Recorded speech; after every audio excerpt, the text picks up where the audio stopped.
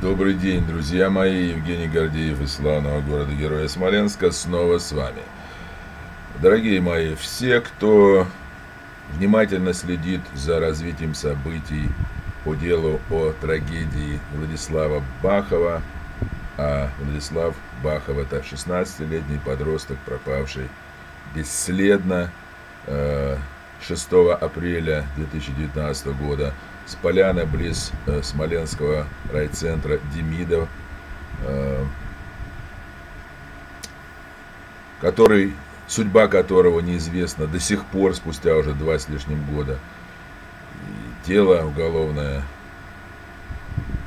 возбужденное по части 1 статьи 105 Уголовного кодекса Российской Федерации, это умышленное убийство, находится на расследовании и под контролем э, Центральном следственном управлении Следственного комитета России в Москве под контролем генерала Бастрыкина, главы этого ведомства. Э, и вот э, все знают, кто следит за этим делом, что первоначально в розысках, э, в поиске этого подростка пропавшего 6 апреля 2019 года участвовали два поисково-спасательных отряда. Это отряд Смоленский, которым руководит господин Василевич. Это отряд, который называется Сальвар. И отряд, известнейший во всем мире, во всей России тем более. Э, это отряд Лиза Алерт. Он так назван по имени одной, как я слышал, девочки, тоже поиском которой э, занимался этот отряд поисково-спасательный. Но между ними произошел, между не отрядами, естественно, а между руководителями, видимо, этих отрядов произошел какой-то конфликт, э, причины которого и результатов которого мы не знаем. Впрочем, как не знаем результата? Мы знаем результат. Отряд Лиза Айлерт снялся с места и убыл по месту своей дислокации. Постоянный в Питере, что ли, центральный у них находится штаб. Вот. И вот посмотрите, значит, в сети было в свое время вот такая э, переписка. Какой-то флот-блуд, ну, кто-то же знает, кто, кто скрывается за этим погонялом, флот-блуд, за этим ником. Э, завтра Лиза Алерт с вами? Вопрос. Ответ. Ответ. Не, мы не с ним. Э, опять. Скажем так, не с нами, а параллельно. Опять э, тот, кто спрашивал. Не, мы не с ними. Отвечает, говорит. Более мы с ними штаб делить не станем. То есть в одном штабе, типа, ну, как говорит, на одном поле не сядут там что-то делать так и этот вот говорит, не, мы штаб делить не станем. То есть штаб-то был, видимо, на поляне, там, где шалаш этот злополучный. Вот. И этот э, оппонент там еще один. Тут много людей участвует, смотрю, так сказать, судя по, по физиономиям там отраженным. А может кто-то узнает из вас по физиономиям, по этим, так сказать, увеличит и посмотрит, и может быть сразу скажешь, а это вот такой-то. Вот. И там еще один значит, говорит, вызывайте дрянь. У него есть методы устранения ненужных штабов. Значит, вот это вот очень важное, так сказать, для рассмотрения. Я уже как-то ролик давным-давно э, выпускал под названием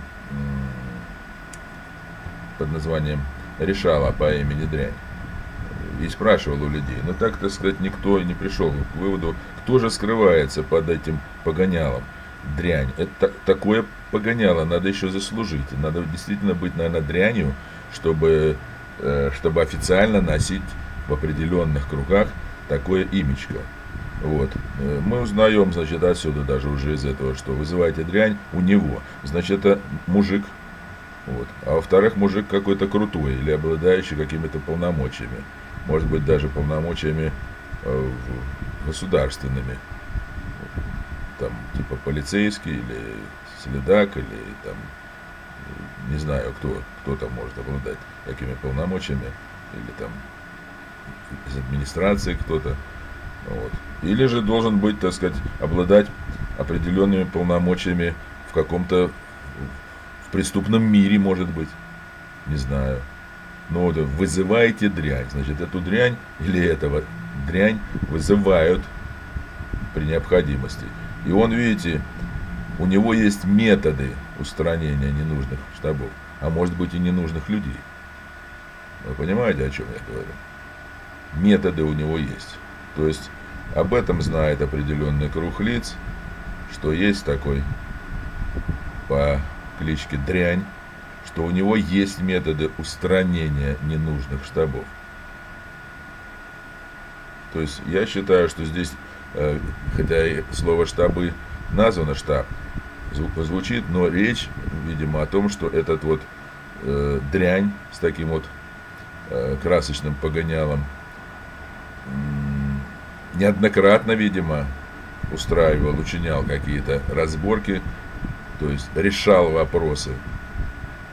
Решал так, что заслужил себе не только погоняло, но и, видите, заслужил, так сказать, то, что о нем э, говорят, что он способен решать какие-то вопросы. И видите, даже развести. И может быть даже э, Сальвар и Лиза Алерт отряды э, разведены были при участии этого дряни. Поэтому я еще раз обращаюсь ко всем, кто меня слышит, видит, э, знает, уважает или же просто смотрит из любопытства мои ролики. Подумать и сказать в комментариях или же мне в личку написать, если это информация какая-то не для общих глаз. Э, все мои данные под каждым роликом есть, как мне писать, куда писать, куда звонить и так далее. И сказать, кто такой этот дрянь. И еще одно, друзья.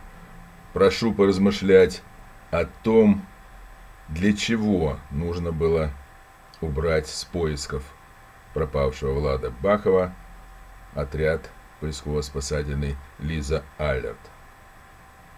Не потому ли надо было его убрать, что